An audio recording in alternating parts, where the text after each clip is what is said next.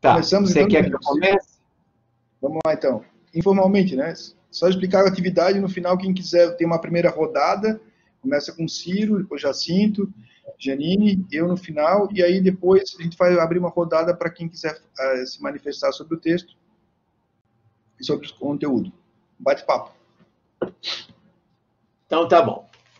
Bom, eu já, é, primeiro quero agradecer o empenho do Alexandre, início do com o Alexandre, a gente convida ele, ele topa tudo, e, é, e, e, isso facilita bem a vida. Logo que eu, ele tem todos os meios, ele tem aparatos, ele é um cara da contemporaneidade, então é com ele que eu posso atravessar essas dificuldades aí. É, foi bom rever Jacinto, rever Janine por aí, saber de um monte de gente que está entrando aí, de amigos da gente, o Agostinho, a Noemi, tem, tem uma turma grande aí que está entrando aí também. Bom, eu vou começar um pouco falando por onde eu resolvi pegar pelo título. O título, a, a única tradução que eu achei fiel ao título em alemão foi no inglês é, porque o título em alemão é Warum Krieg? E no inglês está é, Why War? No português, e também é, em outros que eu vi aí, no italiano, por exemplo, entraram com artigo definido, que eu acho que já muda a coisa. Puseram porque a guerra. E fomos traduzir ao pé da letra, por que guerra? É diferente. Porque o artigo definido, ele vai determinar o substantivo sempre de um modo preciso e particular. E parece que o Freud, nisso, ao indagar por que guerra, ele já está perguntando, de uma certa forma, que guerra é essa? De que guerra se trata? Né? Nós estamos vivendo uma situação pela qual até a gente está aqui hoje trabalhando dessa forma, que muitas vezes ela foi comparada com uma guerra. Uma comparação imprópria, mas é uma comparação que civiliza a questão, por mais que pareça paradoxal. Porque a, a questão de se estar diante de um vírus invisível, que já pode estar dentro de você e você não sabe. É muito diferente de enfrentar um inimigo da guerra, que é sempre localizável, e a guerra, ela, no final das contas, ela cai nas malhas jurídicas para poder, inclusive, se viabilizar enquanto tal. Mas então, quando se pergunta, Warum Krieg? Que, é, por que guerra? Foi daí que eu puxei o fio. E com o que eu fui lendo lá do Freud, teve uma, um pedacinho na carta, não na do Freud, mas com o qual o Freud concordou. Mas é na carta do Einstein, quando ele fala para o Freud o seguinte: aqueles que têm. Não, ele vai falar aqui assim. Isso já é o Einstein, escrevendo. O Einstein fala aqui assim: Como é esses procedimentos conseguem despertar nos homens tão selvagem entusiasmo até levá-los a sacrificar sua vida? Só tem uma resposta possível. Isso é o Einstein, com o qual Freud vai concordar. Só tem uma resposta possível, porque o homem tem dentro de si um apetite de ódio e destruição.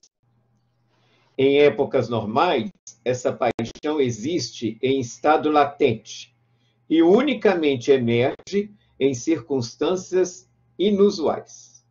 Mas é relativamente delicado colocá-la em jogo, exaltar-lhe até o poder de uma, ele vai chamar, o Einstein, de uma psicose coletiva. Aqui está a raiz, talvez, do quid, de todo o complexo de fatores que estamos considerando. Um enigma que o expert em conhecimentos das pulsões humanas pode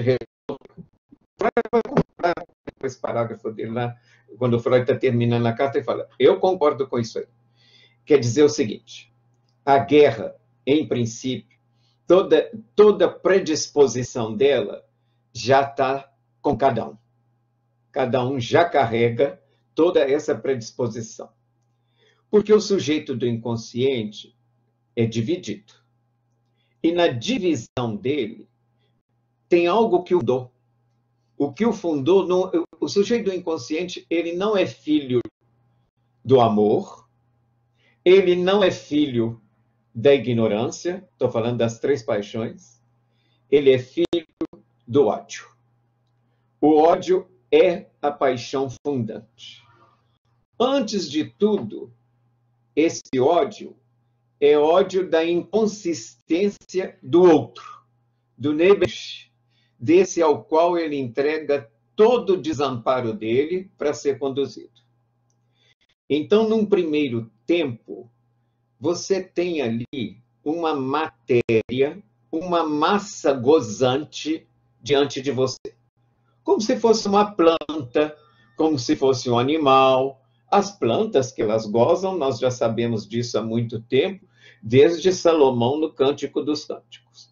Quando ele fala, olhai os lírios do campo, né, que nunca ninguém em tanta formosura teceu, etc. Quer dizer, algo do gozo da planta já está ali denunciado. Esse bebê, num primeiro momento, é uma matéria gozante que cai, já estava caído há três gerações anteriores, que cai dentro da rede linguageira. Dentro da rede linguageira. Então, ele está ali numa condição original autística, de matéria viva, de matéria gozante. É um tempo mítico de indiferenciação primordial. Mas isso é um tempo mítico porque é uma abstração para a gente poder lidar com isso. Por que é uma abstração? Por que, que essa matéria não está ali tão nessa inércia?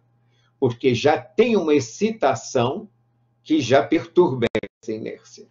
Excitação que vem de estímulos externos, o ambiente externo, e excitação que vem de estímulos internos, ou de uma conjugação dos dois. A primeira coisa que invade a criança para ela sobreviver e precisa invadir é ar. Ela precisa respirar.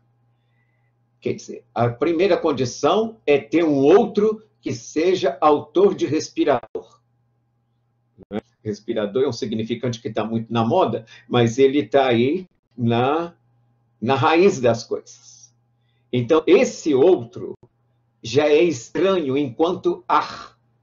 E é um outro que vai até ter que sacudir a criança, fazer espasmos musculares nela, para que ela receba a primeira hostilidade, que é do ar hostil, que é totalmente estranho a ela e que, penetrando, vai se tornar familiar. Então, toda essa excitação vai perturbar uma inércia. E essa cota de excitação, essa cota de excitação, tanto que vem interiormente quanto que vem do externo, ela cava no sujeito o lugar de uma alteridade, o lugar de um outro que o habita. É o outro estranho, é o mais íntimo e o mais estranho, onde o Lacan nos veio com o significante neologismo com a estimidade. Há então aí em jogo o funcionamento, já começa aí um funcionamento muito empírico, muito rudimentar, de um princípio de prazer, que ainda não está abordando nem o mais além, vamos dizer assim. Está ainda no seu significado hedonístico, utilitarístico pleno. Ou seja, o sujeito ali vai exercer o primeiro julgamento com o qual ele se confronta na vida dele. O primeiro juízo, que é o juízo de atribuição. Nesse juízo de atribuição, ele vai tomar para si, ele vai aceitar, ele vai internalizar que é prazeroso e vai expulsar o que é hostil. Já tem um racha aí na própria divisão do sujeito, e isso que é expulso, que é algo do sujeito, é a parte objetal. É a parte objetal. O que é expulso, originalmente, veio da mesma fonte. Ou seja, o nosso horror ao outro que nos horroriza, o que tem ali é algo, desde sempre, que foi nosso. E que nós nos recusamos a reconhecer em nós e temos muito mais facilidade de reconhecer no outro, supondo que esse outro não nos afeta. Então, isso passa primeiro por um julgamento, por um juízo de atribuição. Esse juízo de atribuição vai fazer coincidir o externo com o desprazeroso, o interno com o prazeroso. Enfim, as predileções políticas, elas ficam muito encostadas nisso. Elas ficam muito encostadas nisso. O inconsciente é político, porque essa Constituição já passa nisso daí. A operação, vocês vejam só, que a operação de introjeção, você só vai poder introjetar a partir de poder expulsar. É a parte que você expulsa, que é aquilo que no texto da denegação o Freud chama da Ausstoßung, é essa parte que funda um sim. É com o não que você pode fundar um sim. Agora vamos chegar a isso, encostar isso no nosso assunto. Que guerra é essa, então? Que guerra é essa que a gente está diante dela? Onde entra aí o arcabouço simbólico do direito para nos conduzir a um tratamento simbólico da questão? Denominar de guerra essa posição diante do Covid faz, de uma certa forma, consistir o outro, esse externo, esse inimigo que a gente supõe esteja no outro, que a gente não, não reconhece o mínimo compromisso com ele. Então, quando dizemos que é guerra, é uma forma de lidar.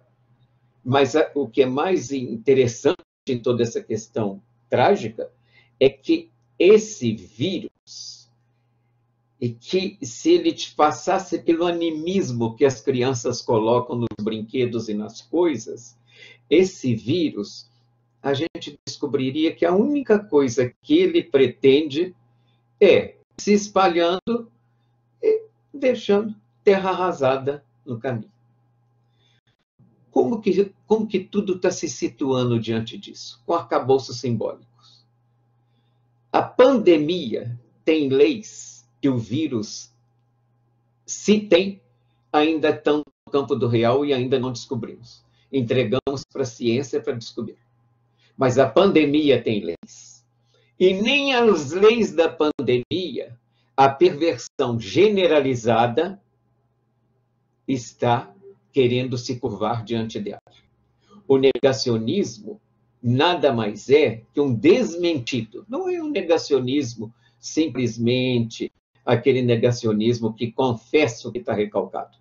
Isso aí é um desmentido, o que a gente tem assistido, é um desmentido que tenta triunfar sobre a castração. Um desmentido dizendo que isso não é nada, que morra quem tiver que morrer. É um desmentido da castração, um desmentido da morte. É querer ficar diante disso sem leis ou com um darwinismo social. Porque a pandemia tem leis. E que leis são essas que tem a pandemia? são essas que a ciência já minimamente rascunhou. Nós estamos aqui trabalhando essas questões porque algo da ciência nos chegou que ficar em casa no distanciamento social nos dá um certo nível de proteção. Agora, chegar a ponto de desafiar isso tudo, é preciso que o direito, nesse momento, o direito só tem uma razão de existir: tornar a, violência metaforizada. É aquilo que está lá no texto. No lugar de violência, direito. O direito não tem essas fadas madrinhas que se debruçaram no berço dele, como nos contos, contos da carochinha, do naturalismo e do tomismo. Ah, que o direito natural é que o homem é bom, tem tendência para o bem. Isso é bom para dormir. Mas para a gente ficar desperto e acordado, o direito faz é isso que já está em nós. O direito conserva a latência do conflito no reino da latência. O direito tem que estar aí para preservar o sonho, para preservar o real. Ir no campo jurídico é ir para o campo jurídico fazer a narrativa, o conteúdo manifesto de um sonho real, de um pesadelo. Eu queria colocar essas questões, a gente pode desdobrar isso daí, porque esse é o momento aqui que a gente tem que aproveitar para tentar entrar um pouco no pesadelo, porque o que lá vai acontecendo com nós todos é que nós estamos muito propensos a voltar a dormir. A hipnose não saiu do ar até hoje. Agora eu passo aí, Alexandre, para você passar para os colegas. É, obrigado, Ciro. Vou ver se a Janine está tá, tá online, quiser já usar a palavra, Janine. Isso consegue. -se.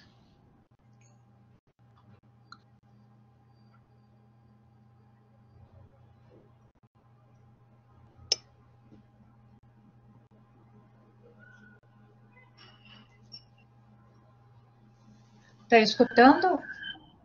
Escutando, sim. Pode ouvir. Sim. Caiu a conexão. Mas vai com isso. Mas vai. Não arrisca. Não arrisca.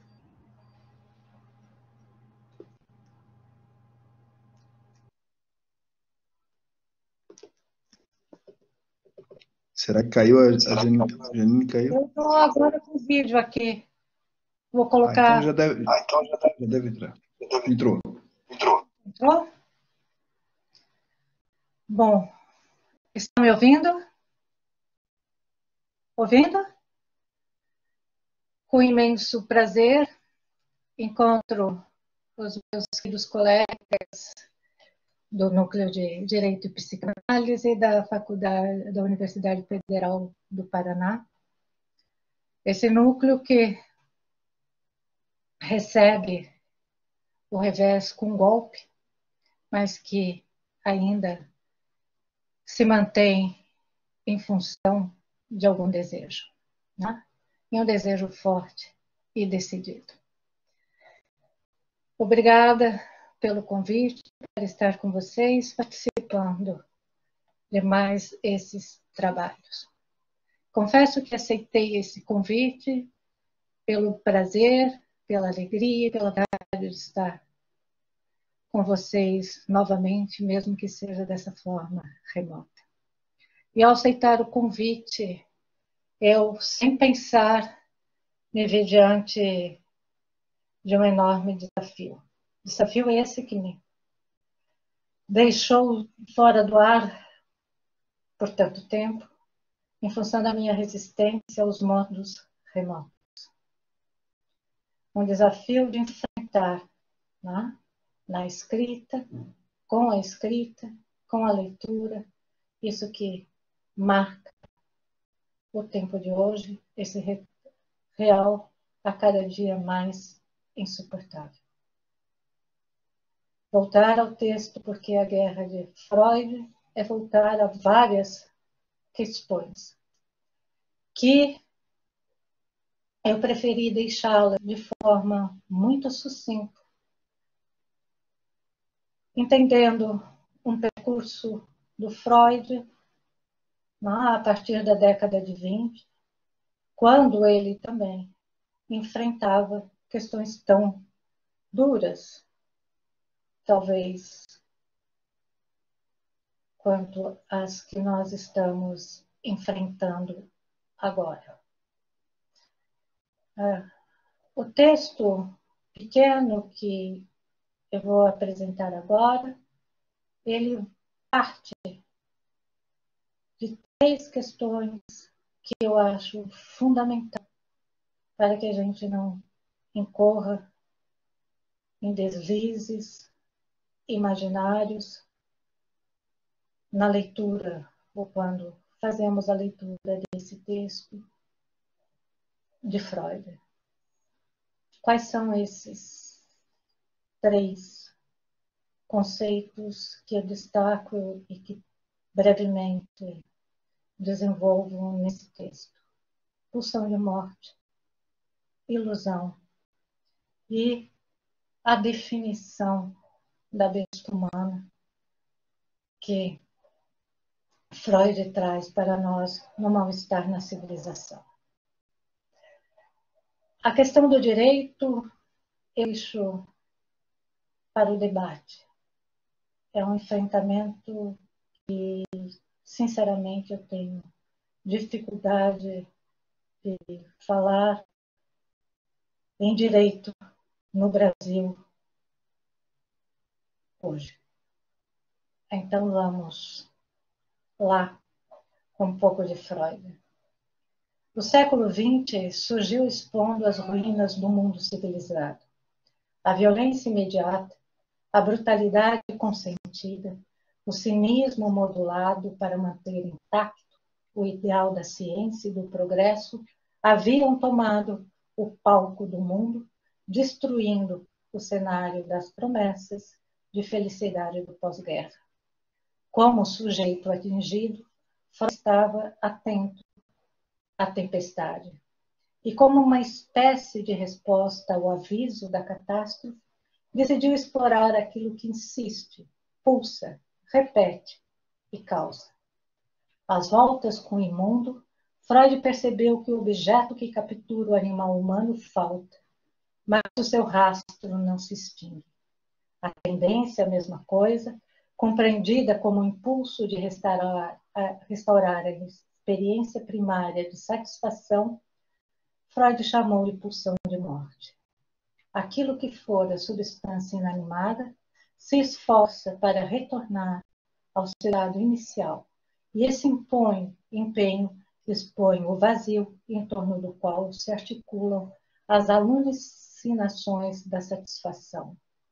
O movimento da pulsão enlaça o corpo biológico singular com o mundo onde a condição de frustração da satisfação é a própria condição da espécie. Uma apóstrofe muda surge então como princípio da humanidade e do seu mal-estar. O impossível, que retorna como simbólico marcado pela falta, inaugura no humano a dimensão com o signo do desprazer. Além do princípio do prazer, uma disposição autônoma e originária promove os ateios mais ou menos trágicos do ser humano e dos seus laços sociais. Essa força constante opera no organismo, destruindo-o fria e incansavelmente, com os mesmos meios que disponibiliza para saciá-lo. No mundo, a pulsão de morte afirma-se como a agressividade de coisas animadas e inanimadas que optamos destruir no lugar de aniquilarmos o nosso próprio eu. Na mais cega fúria de destruição, a satisfação pulsional se faz acompanhar por um grau extraordinariamente alto de fruição narcísica, devido ao fato de presentear o eu com a realização de antigos desejos de onipotência deste último. Inversamente, qualquer restrição dessa agressão estaria fadada a aumentar a autodestruição, a qual, em todo caso, prossegue. Essa disposição pulsional agressiva, adverte Freud, configura-se como o maior obstáculo à civilização, um processo a serviço de Eros, cujo propósito é combinar os humanos na grande unidade a qual chamamos de humanidade. Contrariando o senso comum humanista, Freud afirma que não somos criaturas gentis que apenas desejam ser amadas e que no máximo defendem-se quando atacadas, mas seres cujos dotes pulsionais comportam uma poderosa carga agressiva.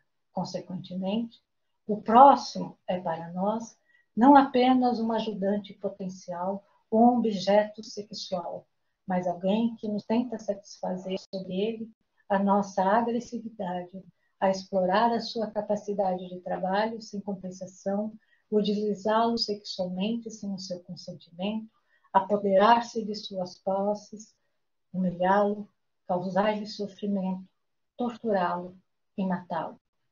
Em circunstâncias favoráveis, quando as forças mentais que normalmente inibem se encontram fora de ação, a agressividade se manifesta espontaneamente e revela o homem como uma besta selvagem, a consideração para com a própria espécie é algo estranho. Para que o mundo não se desintegre sob o impacto do cortejo das bestas, acrescenta Freud, Eros recorre a um artifício. Estrutura o superego, que dirige a agressividade contra o eu, fazendo com que troquemos uma ameaça exterior ocasional por uma desgraça permanente. O jogo dos espelhos é complexo, mas não confuso. A cultura promove a introjeção da agressividade por meio do superior, que serve à pulsão de morte, impondo ao eu sitiado o imperativo goza, ou seja, morre para manter intacta a ilusão da milícia. A guerra não tem trégua. O que assusta profundamente o homem, escreve Walter Benjamin, em Ruas de Saída, é a consciência obscura que nele permanece em vida, algo de tão pouco alheio ao mau, provocador de asco, que possa ser reconhecido por este. Na realização imaginária do desejo de coincidir, da sede de identidade que a repressão não elimina, o íntimo que parece suspeito pode nos soterrar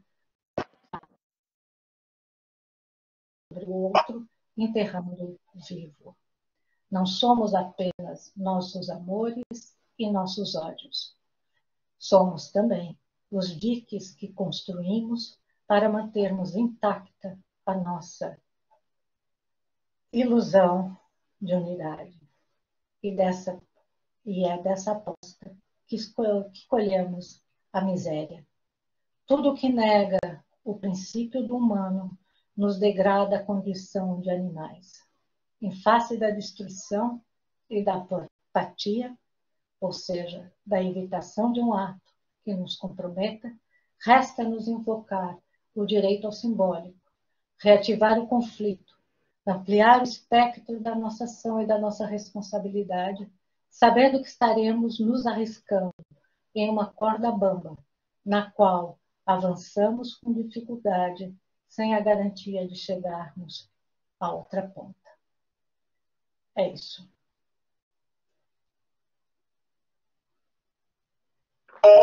Obrigado, Janine. Agora, então.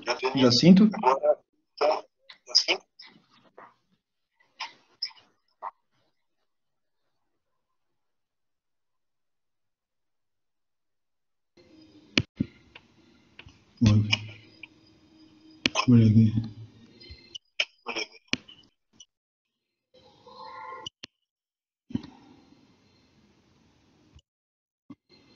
Eu agora?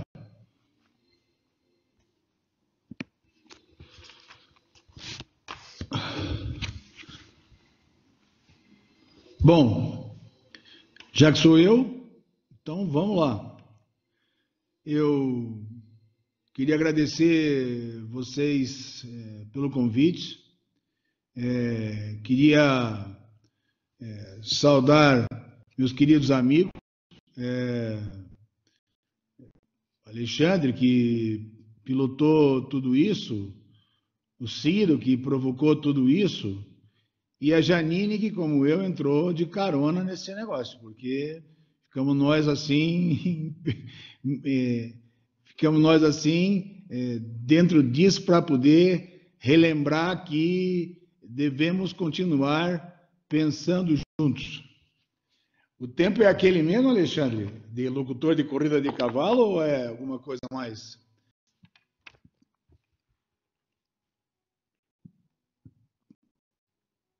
Alô? Estão ouvindo? Alô? Alô? Tá ouvindo, Pode falar. Janine? Tá ouvindo, tá ouvindo. Pode falar, pode falar, sim, tá ouvindo. Então, é os cinco minutos, só para eu saber, porque... Estou te ouvindo. Não, é cinco minutos? Hã? Vai falando aí.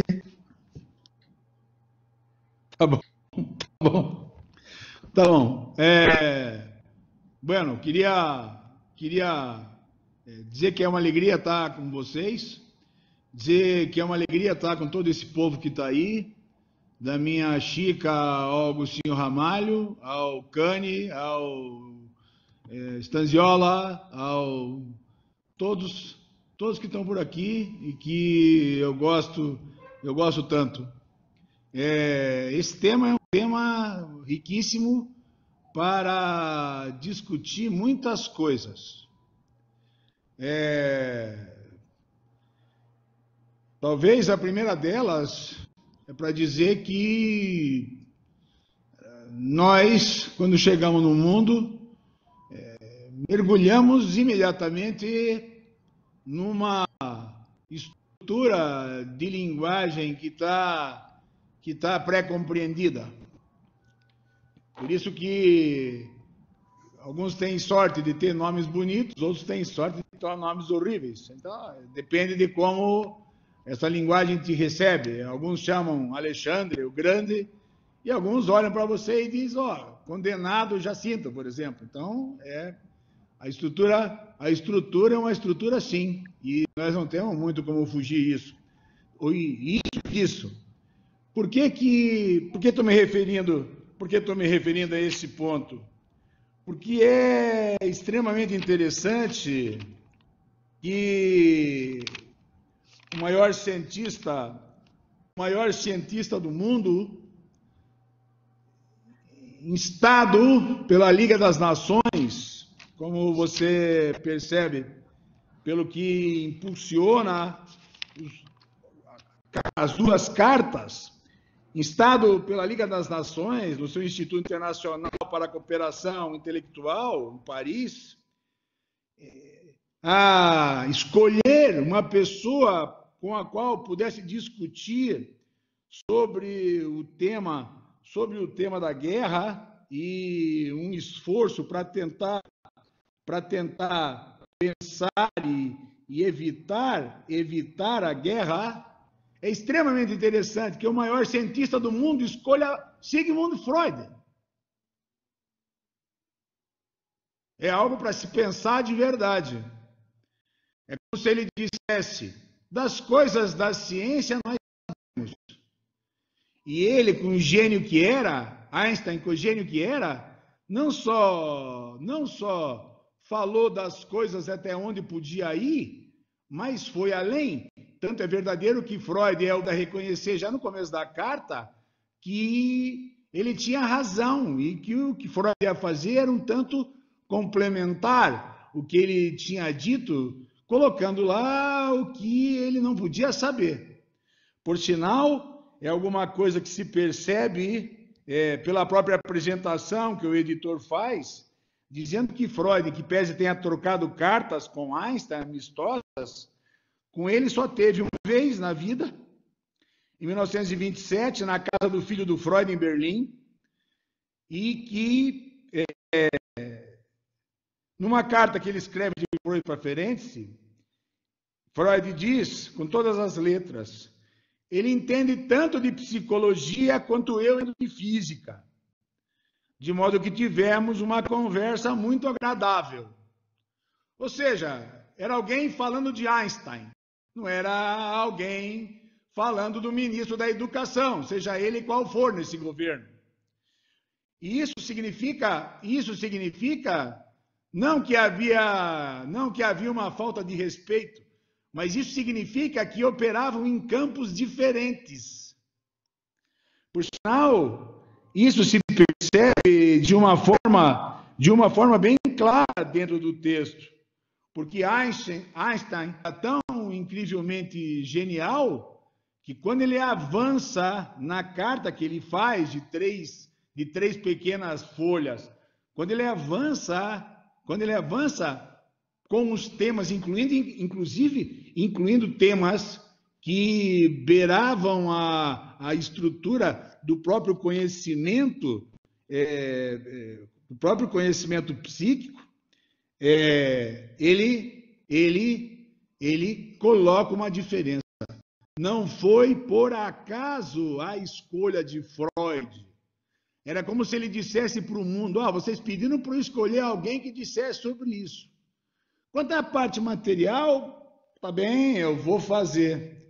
Eu posso até dizer alguma coisa, mas para dizer de fato alguma coisa que seja pertinente com o que devemos pensar nós a respeito da guerra, porque o Ciro tem total razão, o título é Why War. E de consequência, é disso que se trata. É como pensar da guerra. O cara saca que para pensar na guerra é preciso pensar muito além daquilo que eram as batalhas. Né? Por outro motivo que Freud avança com discursos sobre guerra, pauta discursos sobre guerra e, e, é, e se expressa a respeito disso, se expressa a respeito disso, é, mostrando também o que conhecia, o que conhecia a respeito do assunto. É importante, porém, desde esse ponto de vista, verificar nessa divisão daquilo que era a física para ele, uma frase que passa um tanto despercebida para quem lê assim rápido, que diz não propriamente respeito àquilo que Freud fazia e de como aquilo que Freud fazia ou dizia pudesse parecer um tanto mitológico, vamos, ser, vamos dizer assim, seja, alguma coisa que não diz muito respeito a nós, não é? As pessoas tendem a imaginar que isso é coisa daquela gente que fica navegando, navegando, deslizando por um discurso que serve só para eles e não para nós. Mas Freud, nesse aspecto, não deixa muita dúvida, não deixa muita dúvida. E mais, ele não está falando, ele não está falando para a turma dele. Ele está falando simplesmente para o grande cientista. Ele está falando simplesmente para Albert Einstein. Ele diz com todas as letras. E isso serve, Alexandre, para nossa discussão lá, lá no grupo, a respeito da extensão da verdade. E serve para dizer lá, eu sabia Lá, lembra que eu disse? Eu sabia, eu já li esse negócio em algum lugar, mas eu não sei onde, onde isso está. Tenho que agradecer a vocês, porque foram vocês que me fizeram voltar aqui. Estava aqui dito isso com todas as letras. Freud diz para Einstein, não é para o Zé da esquina, vamos colocar a coisa assim antes de tudo.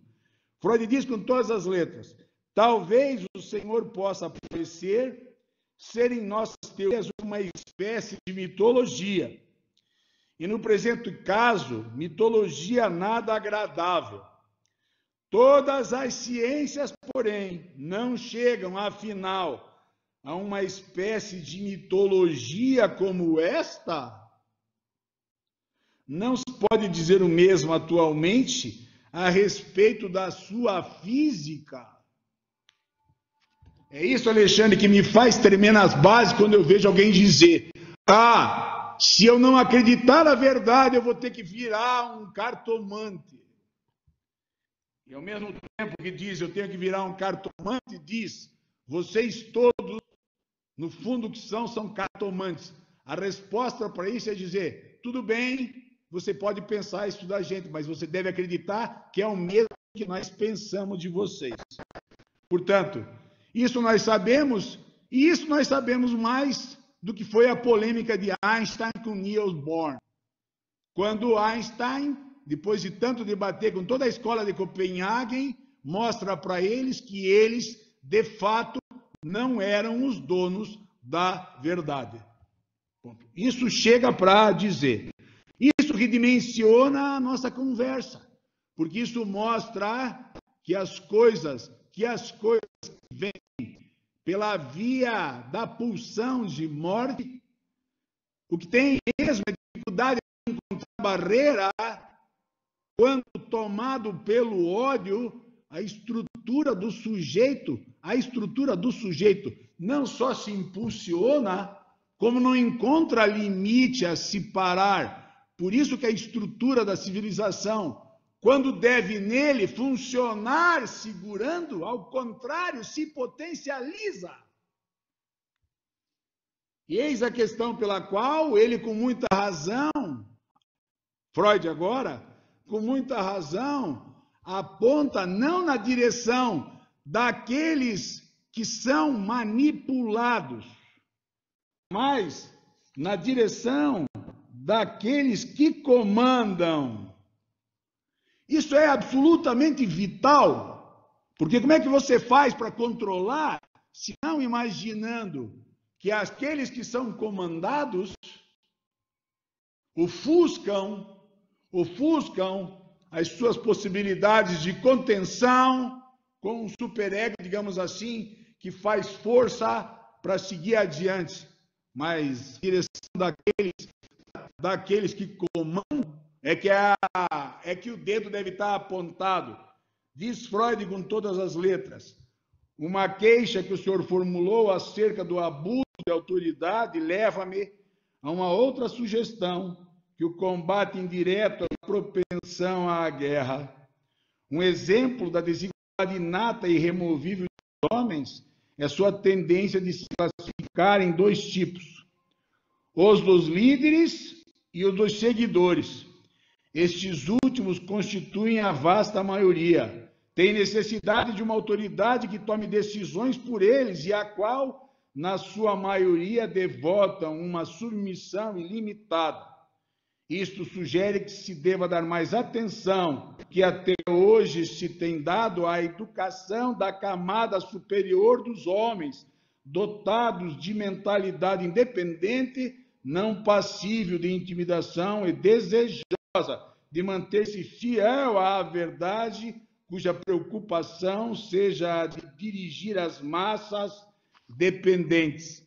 É desnecessário dizer que as usurpações cometidas pelo Poder Executivo do Estado e a proibição estabelecida pela Igreja contra a liberdade de pensamento não são nada favoráveis à formação de uma classe desse tipo. Ora, isso para nós serve e é suficiente para que a gente saiba, ou que a gente tenha consciência que a batalha que é necessária travar, primeiro diz respeito, digamos assim, ao andar de cima, aquele que conduz a massa que, obnubilada pelo ódio, tende, tende a não respeitar as regras. É por isso que, ao contrário, ao contrário da Janine, eu, eu tenho para mim que é necessário seguir acreditando sim nós temos alguma coisa a dizer a respeito disso, porque na situação em que nós nos encontramos, o ódio pode simplesmente nos empurrar a todos para a guerra. Mas enquanto nós tivermos uma forma de resistir, enquanto nós tivermos uma Constituição que permita, que permita um discurso de resistência, principalmente em face das camadas de cima, porque as de baixo vêm junto. É isso que nós precisamos fazer. Quer dizer, é, é difícil imaginar que com o discurso do ódio não se vá à guerra. Mas isso nós aprendemos não só pelo sentimento de culpa. Nós ontem estava lá o Agostinho na, na Unibrasil e o Agostinho tratando, tra, trabalhando o mal-estar. Ele está aí, nós podemos falar com ele depois. Trabalhando o mal-estar e mostrando a questão do sentimento de culpa. Mas eu estou falando isso porque o sentimento de culpa que nós temos que pensar nos alemães, naquilo que nós estudamos a partir de Karl Jasper, do que foi os alemães depois da guerra tendo que lutar contra um sentimento de culpa infinito, mas sobretudo porque lá atrás, antes da guerra, eles que tinham, quem sabe, a melhor constituição mundo esqueceram da Constituição para seguir um chefe que os levou pelo ódio àquilo que foi a Segunda Guerra do Mundo. E que quando terminou, a Alemanha inteira estava no chão. Não tinha ninguém que não tivesse perdido alguém próximo. A guerra dos alemães sem cumprir a Constituição é, é a nossa sem cumprir a Constituição. A guerra dos alemães é capaz de ser nossa, se não parar de morrer gente como tem morrido. Olha, esse discurso de ódio tem nos afastado uns dos outros de modo tal Aqui nós, o que estamos fazendo é exatamente perder a resistência, ceder na resistência para o ódio.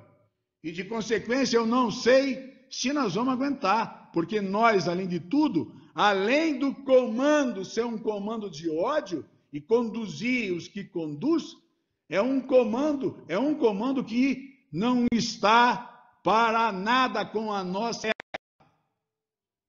Guerra que nos faz ficar em casa. Há quatro meses eu estou trancado em casa. Eu quero saber se isso não é uma guerra. Se isso não é, se nós não estamos dentro do bunker.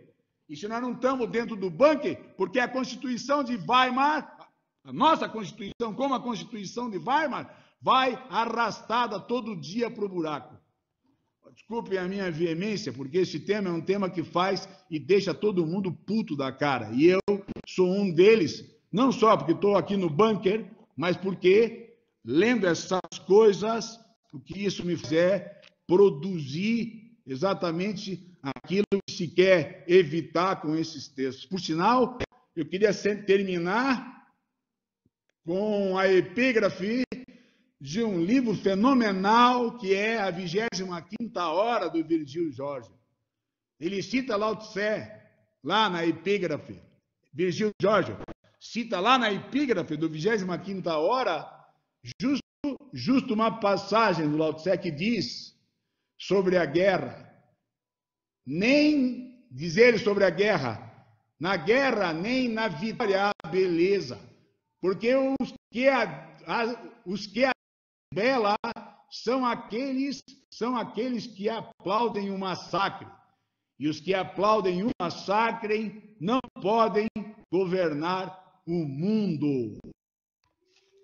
Bom, para comer, desculpe, eu passei uns 10 minutinhos, mas achei que era necessário fazer isso. Obrigado.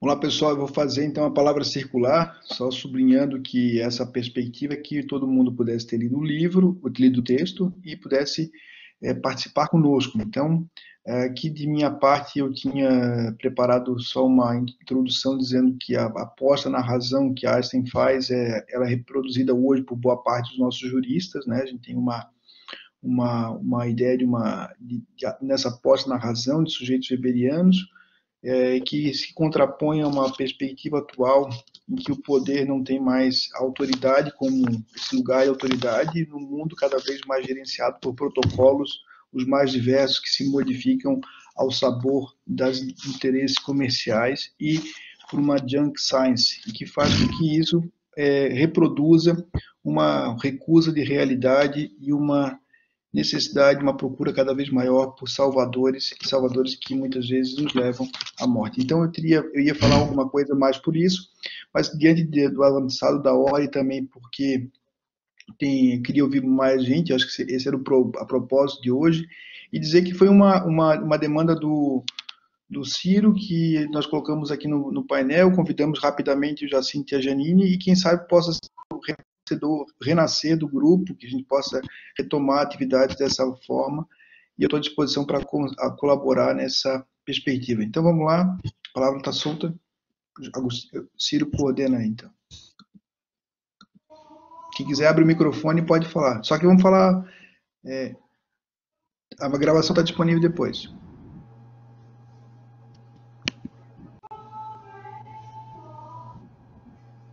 Noêmia. A Noêmia já saiu, Alexandre. Saiu a Noêmia? Ela saiu, que lá já é quase uma hora da manhã. Até em Portugal. Meu Deus. Ah, tadinha. Olá, quem quiser falar, André, Agostinho. Boa noite, boa noite a todos. Prazer muito grande aqui estar diante de, de vocês que pensam esse assunto. É, a minha pergunta vai ser bem restrita, né, a, a esse link do texto com, com, com a situação que vocês abordaram, né. No final do texto, né, até num tom esperançoso, o Freud trabalha que tudo aquilo, que aquela forma de, se evitar a guerra, né, pelo amor, né, pelo, pelo, pela alimentação de, de uma certa identidade entre as pessoas e, e, finaliza de uma maneira genérica, assim, de processos civilizatórios, de tudo aquilo que milita favoravelmente à civilização, tudo aquilo que fortalece o processo civilizatório seria contrário à guerra. E, e como que a gente lida com isso hoje, no momento em que nós vivemos um ataque à educação, um ataque à cultura de forma geral e um negacionismo da ciência? Como é que a gente combate a guerra, né? É, por instrumentos freudianos, assim, né? Declinados por Freud, quando, ao que parece, tudo milita contrariamente a esses instrumentos civilizatórios. Pelo menos no Brasil. Era isso.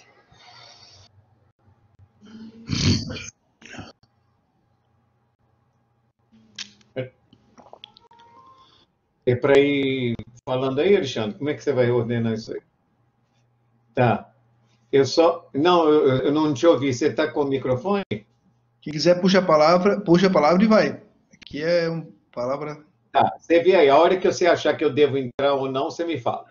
Pode falar, pode falar. Eu só queria pedir, igual o André, por exemplo, que falou aí, eu queria pedir que as pessoas que falassem, elas ligassem a câmera, que eu ainda não acostumei a trabalhar às cegas. Então vamos, vamos fazer o quê? Vamos fazer uma rodada de três participações e depois a gente volta aqui com, com quem, quem falou. Pode ser mais dois, então? Posso só abrir a, o microfone, se apresentar e é, falar. É, tem que... Uh, Fernando Tony. A Fernanda está aí. A Fernanda está aí também, ela me falou.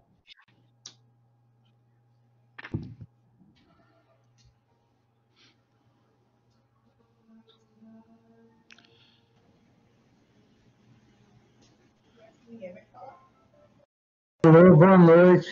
Não, tem que responder para ele isso. Ô, Sim, mas tem, tem mais uma pergunta. Liga a câmera, velho. Tem mais uma pergunta.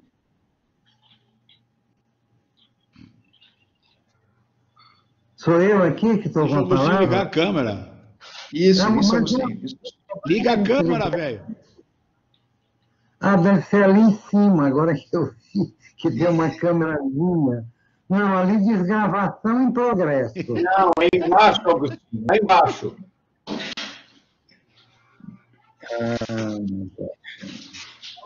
Do lado do microfone, em azul ali, ó. Em azul e em vermelho. E, bloqueado e, e, e compartilhado. Ah, tem uma câmera aqui. Isso. Ah, como é difícil achar essas coisas. Elas estão bem na cara mas é difícil ver, porque é tudo com os íconezinhos, né? Que você tem que é saber. Tudo ler. Cara, eu é, tudo está com uma casa roubada, realmente. Em primeiro lugar, é um prazer imenso. Não é aquela, aquela lá em cima, vermelhinha, Alexandre? O, o aquela vermelhinha lá em cima? Ontem. Não. É, é, conversando, foi ótimo trocar todo um conjunto de, de, de, de ideias com ele e com as pessoas que participaram daquela apresentação lá pela Unibrasil. É muito bom estar revendo o Ciro, a Janine, o Alexandre. Já vi que estavam ali a Noêmia, a Fernanda Ottoni, a, a Chica, a Maria Francisca, prazer enorme estar aqui vendo vocês e conversando, ainda que por força destas circunstâncias, à distância. Eu queria colocar uma coisa só em relação à fala do Ciro, que é pedir, inclusive, que ele desenvolva também um pouco mais, porque eu acho que isso está mesmo na origem, na origem mítica, como toda origem, não é?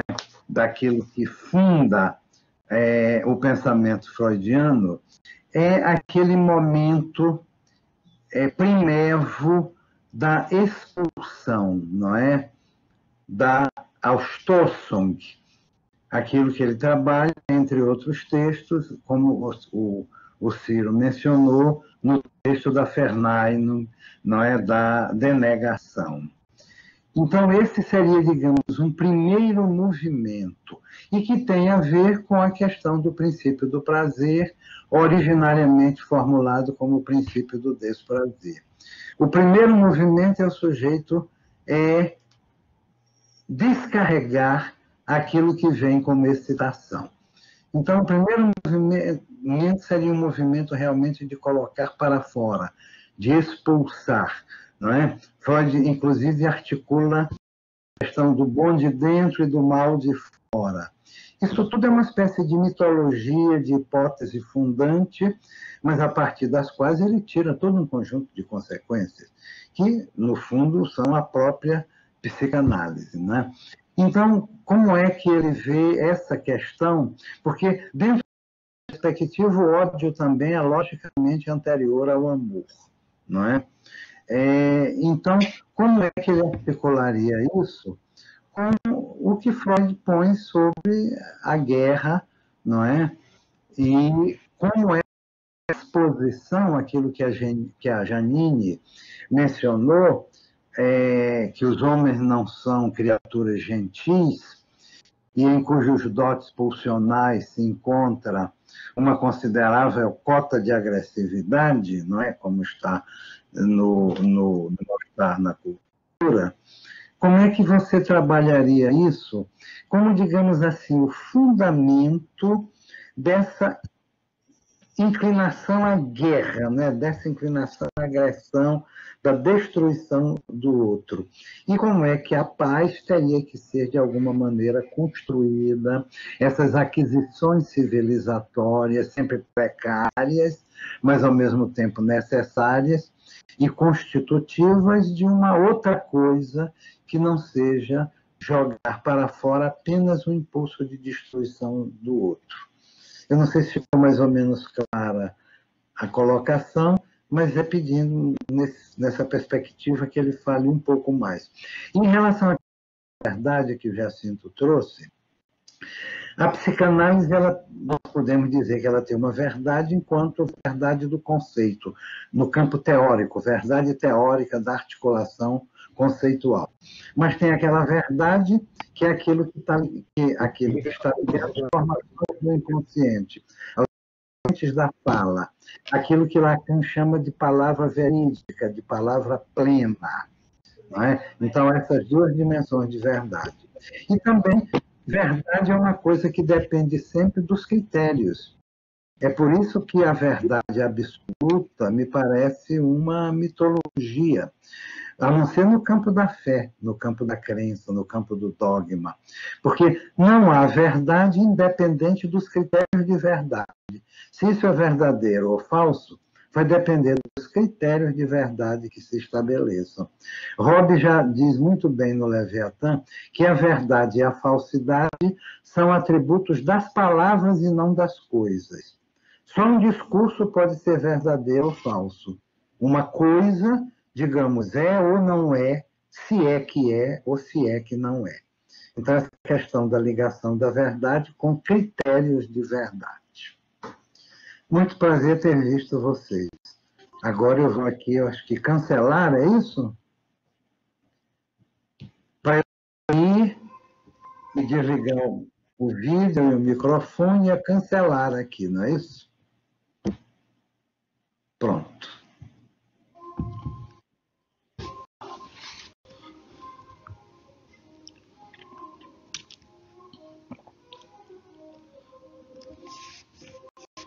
Vai lá, Ciro. Ciro, Janine, Jacinto, quem Boa. quiser. É responder para os dois? Isso. É? Isso. Isso. Isso.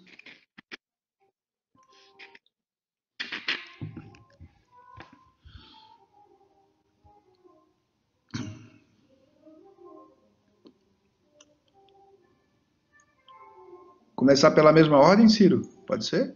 Ou queres falar no final? O Ciro está sem som. É. Sem som, já estava falando, eu esqueci de ligar.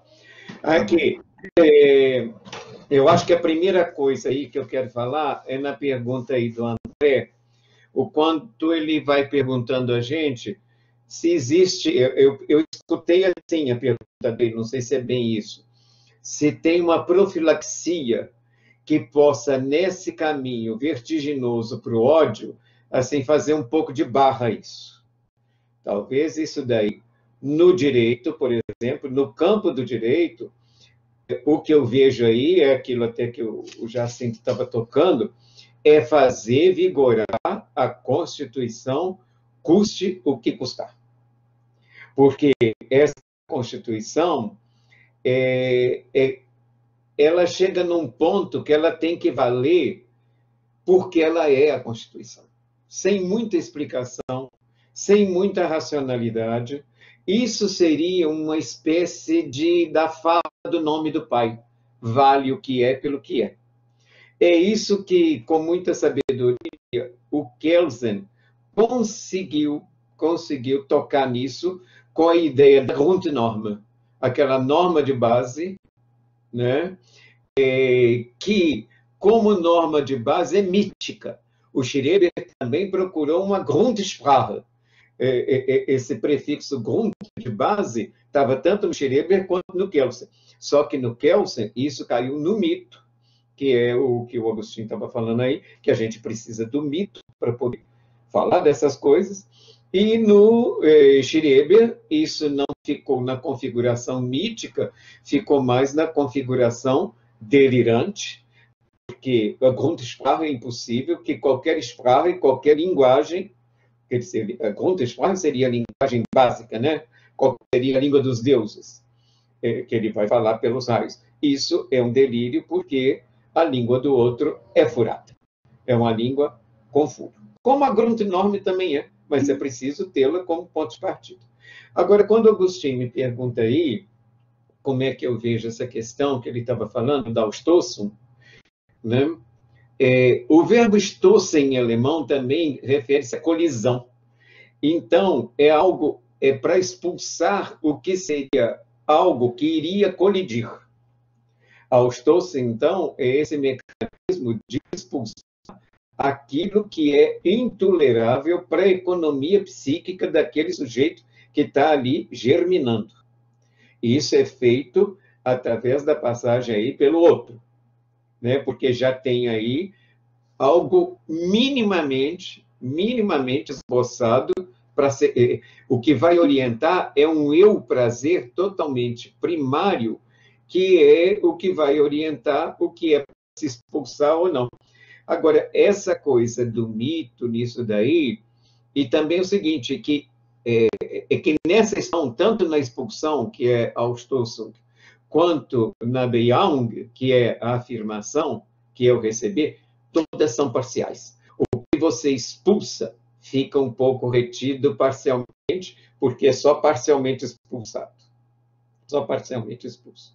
Então, falar em absoluto ou em total é apenas a pressuposição de um gozo que não existe. É um gozo que não existe, é um gozo que foi mitificado.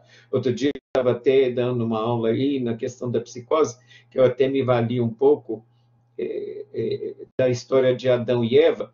Quer dizer, o paraíso, estavam lá no paraíso e a literatura da Bíblia consta que aquilo é o paraíso absoluto, total, mas não é. Não é porque, de repente, uma mulher, nada mais que uma mulher, é uma mulher que vai ter a desinteresse completo da coisa, ela vira para Adão e fala: oh, Adão, vem cá, isso aqui está tudo uma beleza, mas tem uma coisa aqui que é proibida, a gente podia dar uma dentada. Né? Quer dizer, e o que estava proibido? Era algo que estava mitificado como sendo um fruto da ciência e da verdade. Talvez da verdade absoluta, porque a verdade é sempre parcial. Só que, mesmo num paraíso, o sujeito já faz um suposto gozo absoluto. Quer dizer, essa questão que a própria linguagem já te deserta a linguagem faz você se tornar um desertor do gozo, isso está desde o Gênesis. Está falado isso lá. Por isso é que pensar a questão da verdade é sempre na parcialidade, e a questão da verdade, a verdade que talvez distribua lote comum, não é a razão, não. A razão é a coisa que foi suposta melhor distribuída no mundo. Porque você não encontra ninguém que diga que não tem razão. Todo mundo fala, não, eu tenho razão.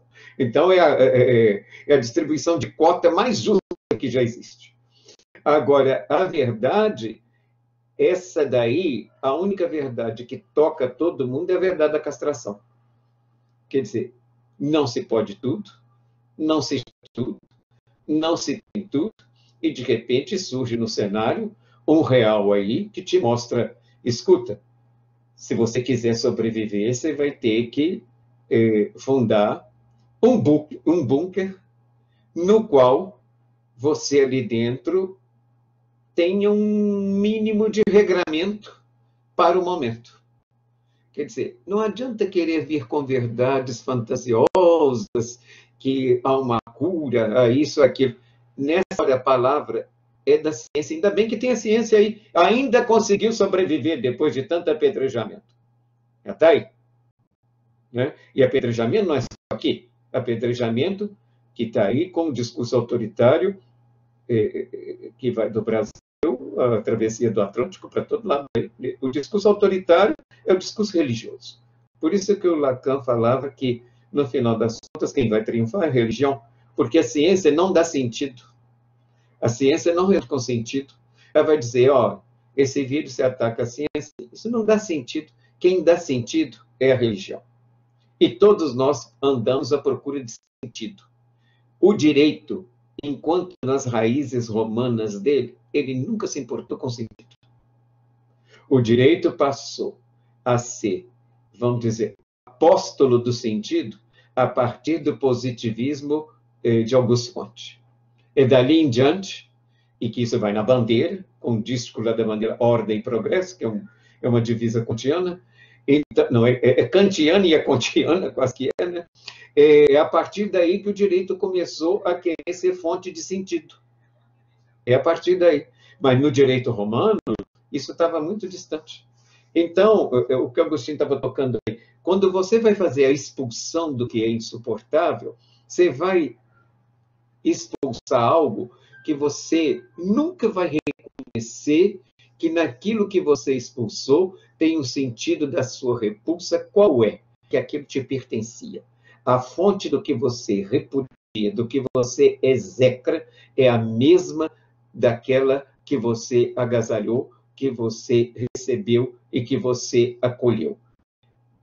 Sair disso é fazer a divisa do La Rochefoucauld, é cair no vício prestando homenagem à virtude, que é o nome que se dá para a hipocrisia.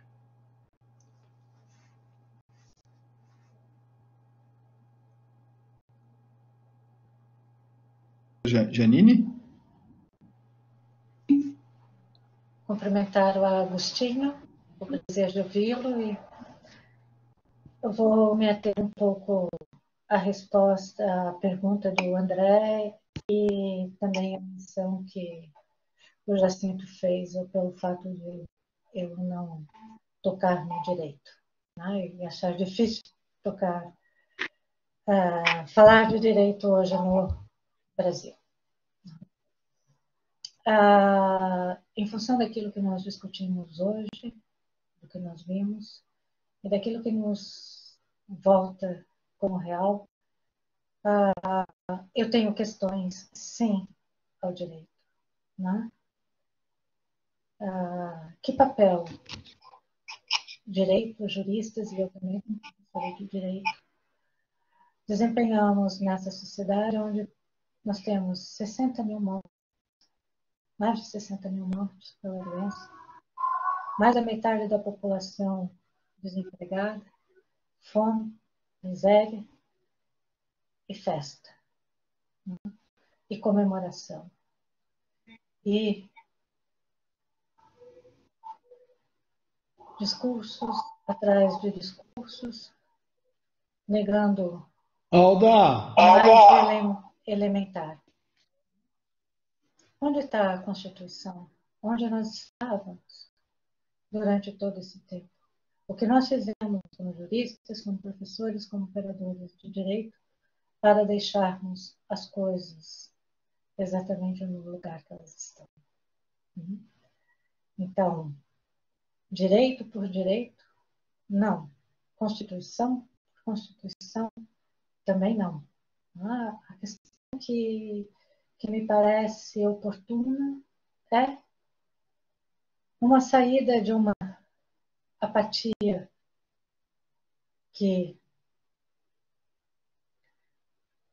se satisfaz né? também com tudo é possível. Mas não, tudo não é possível.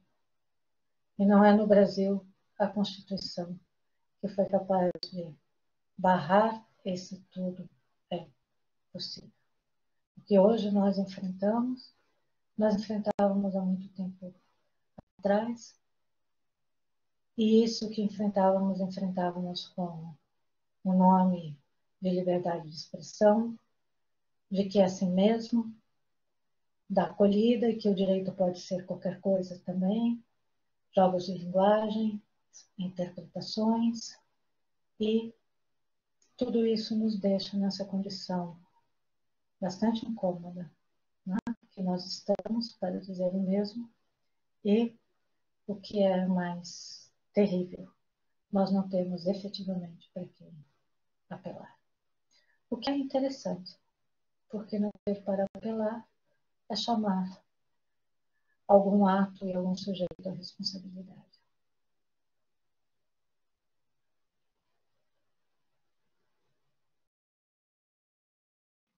Jacinto? Chamo Aldo. Nós temos uma limitação aqui na sala de aula, então a gente teria mais aí uns, mais uns 10 minutos é, até 11h40, 10, 8h45 para poder finalizar. É, Jacinto?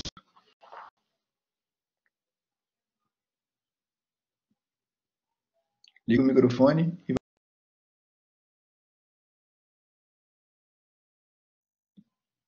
Tem que ligar o microfone. Liguei, liguei. Deu. Deu? É, queria fazer duas observações que me parecem são, são, são necessárias aqui para ajudar a pensar, pensar A questão que o André coloca é a questão que, de uma certa forma, atazana todos nós, não é? O que fazer? Esse que é o problema. O que fazer? Você constata uma situação e pergunta o que fazer. Então, diante da resposta, diante da resposta que Freud dá, ele avança, ele avança com a pergunta é, pedindo solução. E em que pese Freud, Freud expressa isso falando das fontes de inquietação, fica muito claro que se não, que se não elimina, que se não elimina a, a, a, a, possibilidade, a possibilidade da guerra é, simplesmente, simplesmente pela dificuldade que você tem na transformação cultural dos membros da comunidade. Isso era a terceira fonte. Não esquecer que ele, ele diz expressamente que a primeira das fontes é o sentido de se colocarem acima das proibições que se aplicam a todos. Portanto, está diretamente, isso tem endereço, está diretamente ligada. A segunda fonte de inquietação que ele, que ele refere é porque ele diz que os membros oprimidos do grupo fazem constantes esforços para obter mais poder e ver reconhecidas na lei algumas modificações efetuadas nesse sentido. E conclui, conclui olhem com o que ele conclui. Eu estou dizendo isso, inclusive, para o Cane, que está lá, a Chica, que está lá, sei lá. Olhem com o que ele conclui. Nesse caso, o direito pode gradualmente adaptar-se à nova distribuição do poder, ou como sucede com mais frequência, a classe dominante se admitir a mudança e a rebelião e a guerra civil se seguem com uma suspensão temporária da lei. Veja a posição schmittiana aí, não é? E com novas tentativas de solução mediante a violência terminando pelo, pelo estabelecimento de um novo sistema de leis.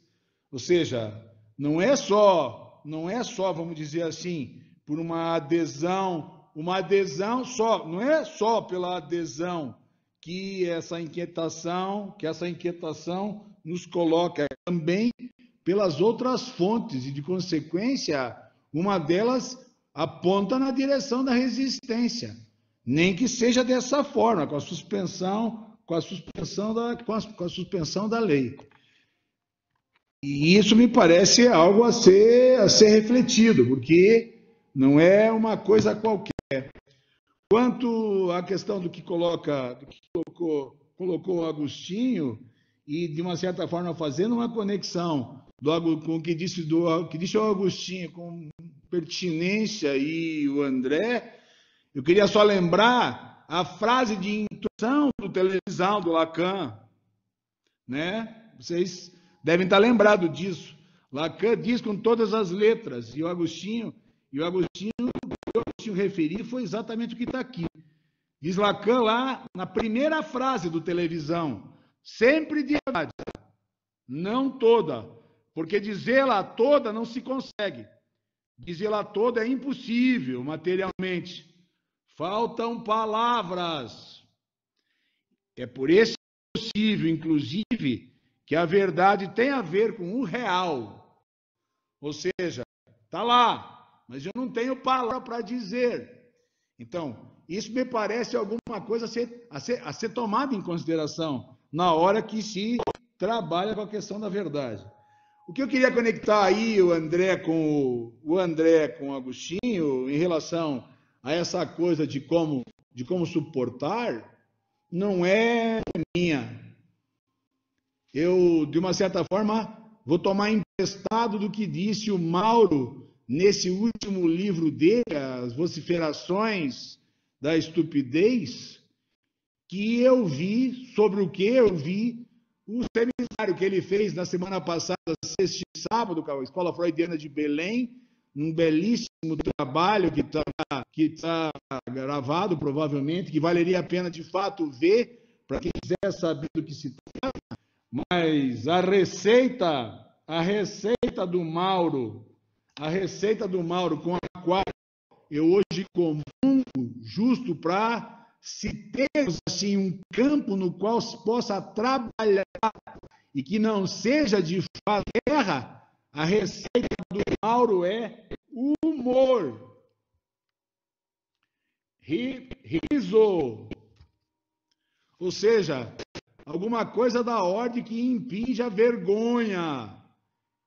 Que diz o Mauro que se não for assim, você não vai conseguir destituir essa gente do lugar que se encontra.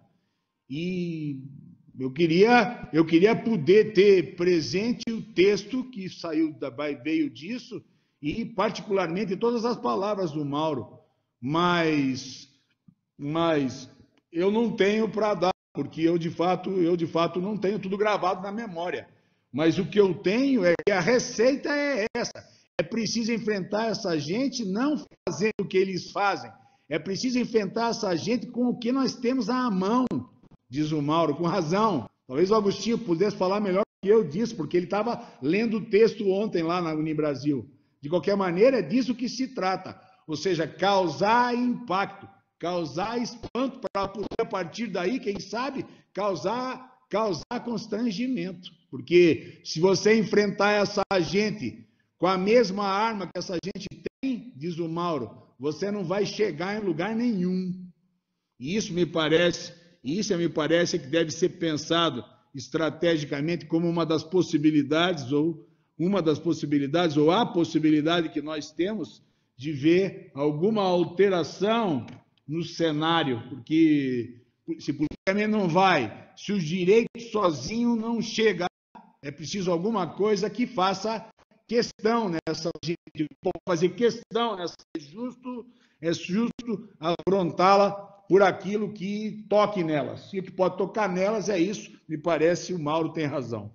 Talvez o Agostinho pudesse dizer para nós, melhor do que eu, porque eu estou falando aqui de memória do que me lembro, seja sábado passado em Belém. Mas eh, talvez o Agostinho ontem estava lendo o texto do Mauro. Eu, não, eu realmente eu não tenho aqui, mas que o caminho é esse, me parece duvidoso.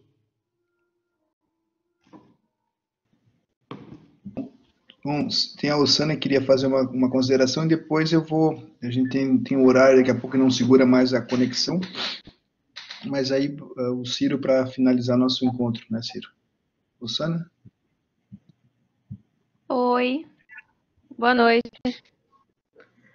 É, eu estou falando aqui da Bahia, então quero fazer uma pergunta, porque o Jacinto disse que a verdade tem a ver com o real, que foi uma fala de Lacan e eu queria dizer, é, na verdade, perguntar que será que a gente está se preocupando demais ou os anormais somos nós? Que real é esse que a gente está tentando lidar? Porque eu não consigo entender. Se vocês têm alguma coisa para falar sobre isso.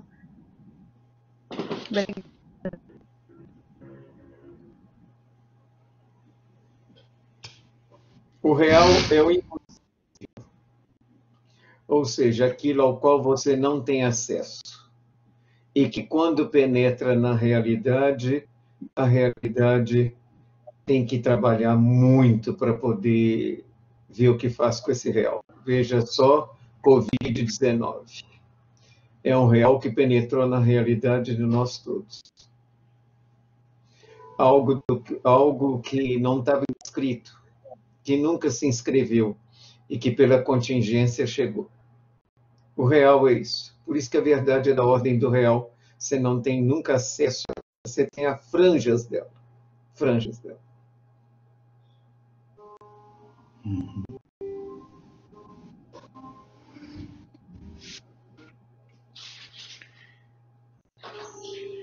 Então, é isso mesmo. Você quer que encerre, Alexandre?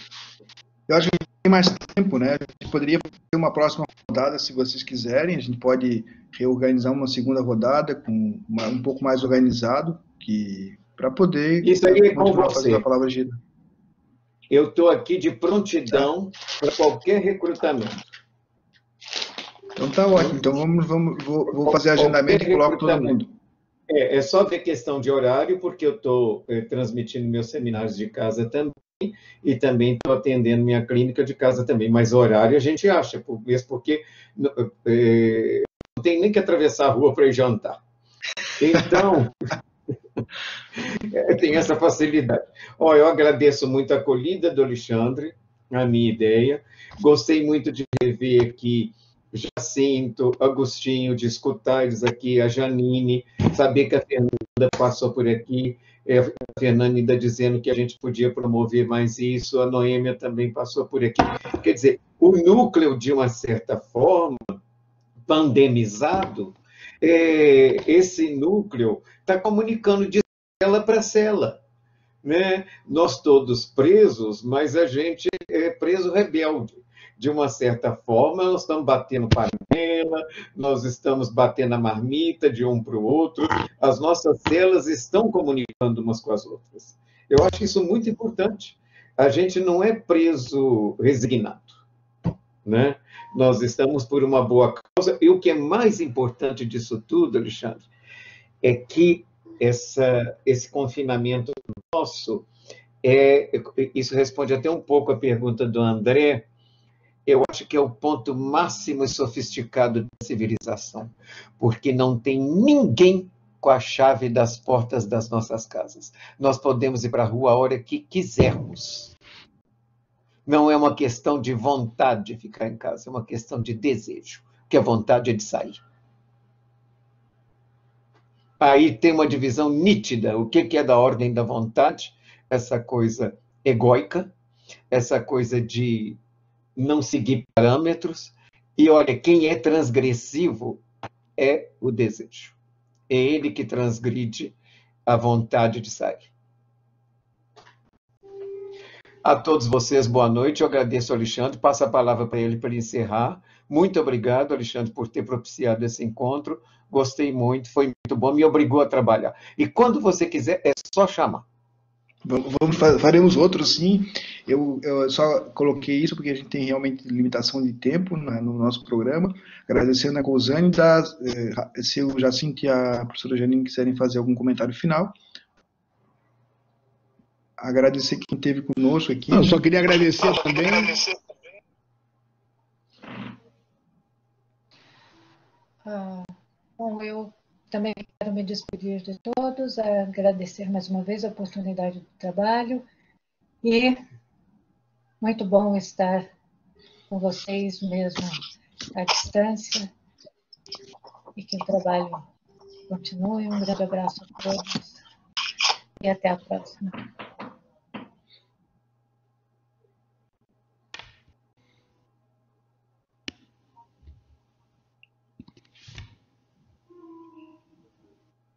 Jacinto?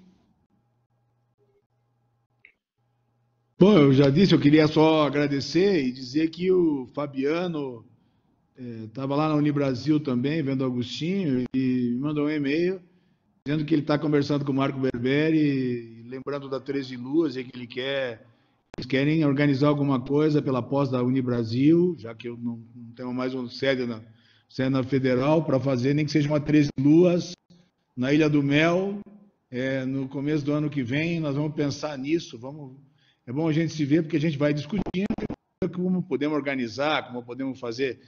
Tá? É só uma primeira ideia, mas é só para vocês saberem que. Até tá preso, tá assim, a gente vê a Lua nascer quadrada. Até preso. mas para fazer, mas para ver 13 luas, você precisa da Ilha do Mel. vou abrir a câmera aqui. Tá, um abraço, pessoal. Obrigado a todos vocês que estiveram aqui conosco. Vamos divulgar mais e a próxima. Valeu, Ciro. Obrigado pela, pela instigação. Obrigado, viu? Um abraço para vocês. Tchau, tchau. Vamos fazer uma sobre o riso. Sobre ah, o riso. Ah, interessante. Essa pode. Né?